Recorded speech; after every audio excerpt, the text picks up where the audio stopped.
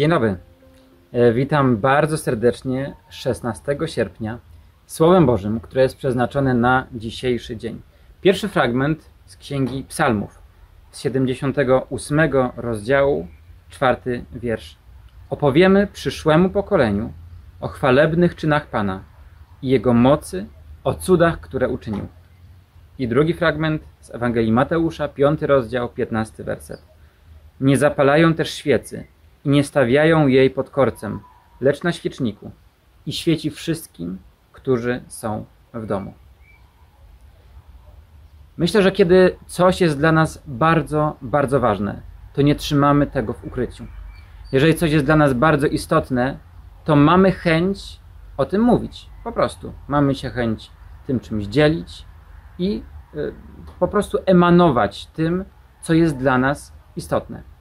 Kiedy patrzymy na nasze dzisiejsze fragmenty, jest mowa o tym, że to, co Pan Bóg robi w naszym życiu, nie powinno być zamiatane gdzieś tam pod dywan, ale jeżeli jest to dla nas coś ważnego, to super, gdybyśmy mieli taką odwagę i taką chęć, aby właśnie się tym podzielić z kimś.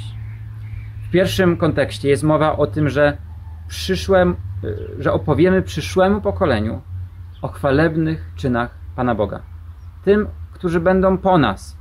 Będziemy z radością mówili o tym, co On robi w naszym życiu.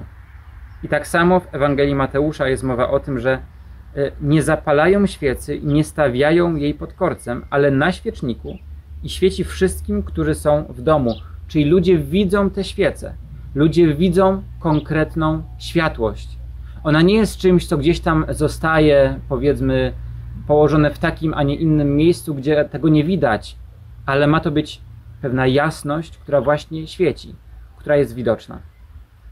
I moglibyśmy sobie zadać takie szczere pytanie, na ile my sami jesteśmy takimi osobami, które dzielą się tym, co dla nas jest ważne. Jeżeli Bóg jest dla nas kimś ważnym, jeżeli mamy świadomość, że posiadamy z Nim bliską relację, to może super byłoby, gdybyśmy znaleźli kogoś, komu możemy o tym powiedzieć. Dlatego, że czasami my możemy być niesamowitym zachęceniem właśnie dla innych.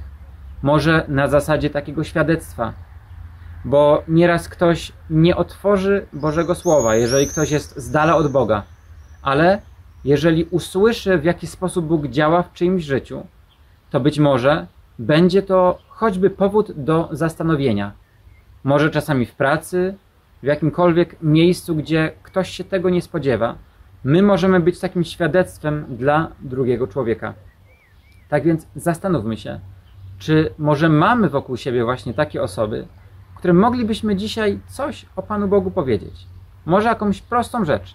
Może po prostu powiedzieć, w jaki sposób On działa w naszym życiu. Bo to może mieć niesamowicie wielkie znaczenie właśnie dla tego drugiego człowieka. Więc pomyślmy, czy kogoś takiego mamy wśród nas, a może warto porozmawiać z kimś o Bogu, z kim po prostu dawno nie rozmawialiśmy na takie tematy.